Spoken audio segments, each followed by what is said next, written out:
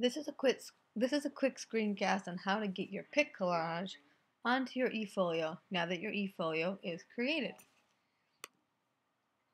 You are going to decide where you want your pic collage and you can always change your layout by choosing one of these options under layout. Um, I'm going to put a pic collage on this side and I'm going to put my my um, mosaic face weaving on this side.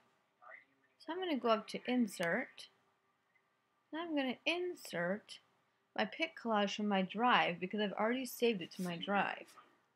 It's going to be done as an image so I'm inserting an image.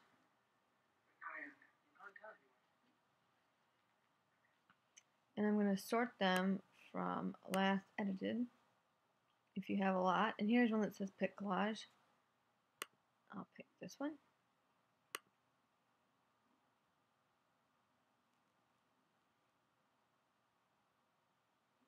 There we go, Althea's. It's pretty big, so I can look at the my options. I'm going to make it smaller, make it a little bit bigger. I'm going to center it, and now that is how I got a pic collage on my eFolio.